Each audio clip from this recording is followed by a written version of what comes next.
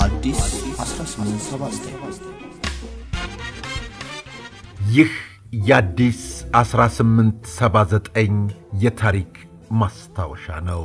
በዛሬው ማስታወሻችን ብላቴን ጌታ ሕሩይ ወልደ ሥላሴ ለልጅ ምክር ለአባት መታሰቢያ ብለው ከጻፉት ውስጥ ለተወዳጁ ልጃቸው ፈቃደ ሥላሴ የጻፉትን አባታዊ ምክር እንመለከታለን። ብላቴን ጌታ ሕሩይ ወልደ ሥላሴ ለልጅ ምክር ለአባት መታሰቢያ በተባለው መጽሐፋቸው ላይ ልጃቸውን እንዲህ ብለው መከሩ። ልጄ ሆይ ምንም የሹመት ፍቅር ቢኖርብህ የፈረድህበት ሰው ጠላትህ ይሆናልና የዳኝነት ሹመት አትፈልግ። አንተ ሳትፈልግ ለዳኝነት ሹመት የተመረጥህ እንደሆነ ግን እውነተኛ ፍርድ የእግዚአብሔር የባሕሪ ገንዘቡ ነውና በዳኝነት ነገር ጠላትህን ለመጉዳትና ወዳጅህን ለመጥቀም እንዳታስብ ተጠንቀቅ። እውነትን በሐሰት ለውጠህ የፈረድህ እንደሆነ ግን የእግዚአብሔርን ገንዘብ ማጥፋት ነው። ይህንም በማድረግህ ባንተ ላይ ከሁሉ የበለጠ ፍርድ ይፈረድብሃል። ልጄ ሆይ ከኃይለኛና ከነገረኛ ሰው ጋር አትጣላ። ከነገረኛና ከኃይለኛ ሰው ጋር መጣላት በሚነድ እሳት ላይ ገለባ እንደ መጨመር ነውና ተጠንቀቅ። ልጄ ሆይ ለጌታህ ገንዘብ አታበድር። ክፈለኝ ባልኸው ጊዜ አንተ የምትጠፋበት ምክንያት ይፈልጋልና። ለተሟጋችም አታበድር። ክፈለኝ ባልኸው ጊዜ ነገር ፈልጎ ወደ ዳኛ ይወስድሃልና። ልጄ ሆይ ጠላት በዛብኝ፣ ምቀኛ ሴረብኝ ብለህ እጅግ አትጨነቅ። በዓለም የሚኖር ፍጥረት ሁሉ ጠላትና ምቀኛ ያለበት እንጂ ባንተ ብቻ አይደለም።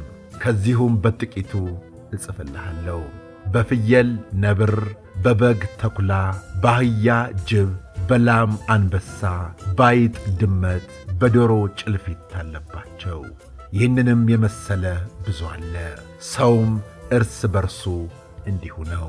ስለዚህ የሚመጣብህን ነገር ሁሉ በትዕግሥት ሆነህ ተቀበለው።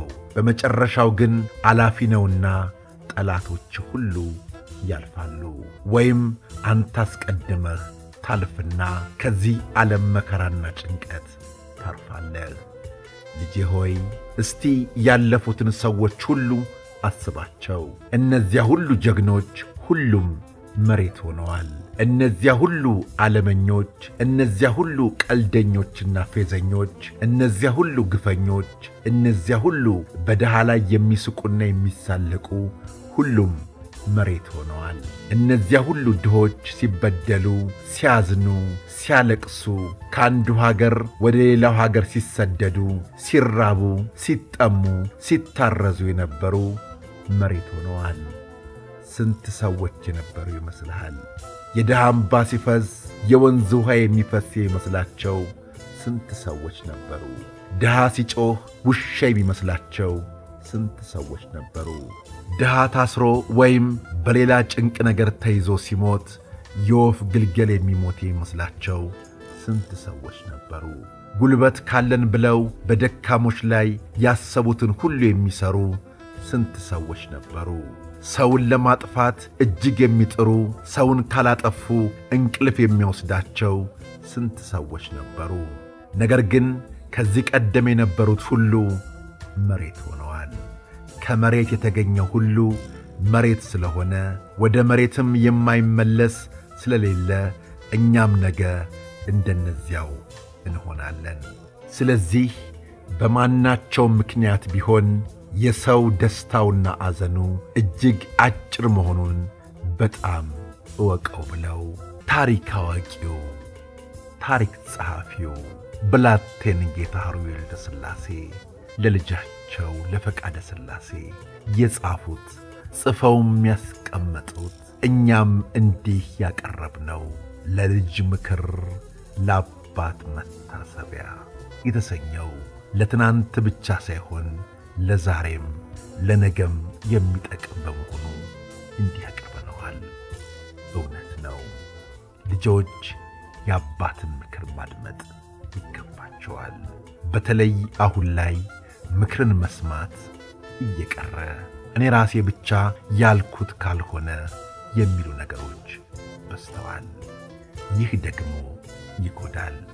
የአባትን ምክር ማድመጥ ብዙ ጥቅም ያስገኛል። የእናትን ምክር ማድመጥ ብዙ ጥቅሞችን ያስገኛል። ስለሆነም የአባትንም የእናትንም ምክር ሰምቶ ከራስ ሐሳብ ጋር አስታርቆ የወደፊት ጉዞ ሲጀመር ውጤቱ ያማረ ይሆናል። ይህንን እናድርገው። የሚሰጠን ምክር እኛን አይጎዳንም፣ ይጠቅመናል እንጂ እኛ ላይ ምንም አይነት ስተት አያደርስም፣ ይጠቅመናል እንጂ። ስለዚህም ምክር ማድመጣችንን አንቀጠል። ደግሞም ስንመከር ደስ ይላል። ውድ ቤተሰቦቻችን ይህን ታሪክ ጽፈው ያስቀመጡልንን አባታዊ ምክሩን ጽፈው ለታሪክ ይሁን ያሉትን ብላቴን ጌታ ኅሩይ ወልደ ሥላሴን እናመሰግናለን። ውድ ቤተሰቦቻችን አሁንም የተለያዩ ታሪኮችን ማቅረባችንን እንቀጥላለን። በአብሮነታችን እንቀጥል፣ በወዳጅነታችን እንቀጥል። ከልብ እናመሰግናለን። ያው ተቀበሉን ምስጋናችንን። እናመሰግናለን። አዲስ 1879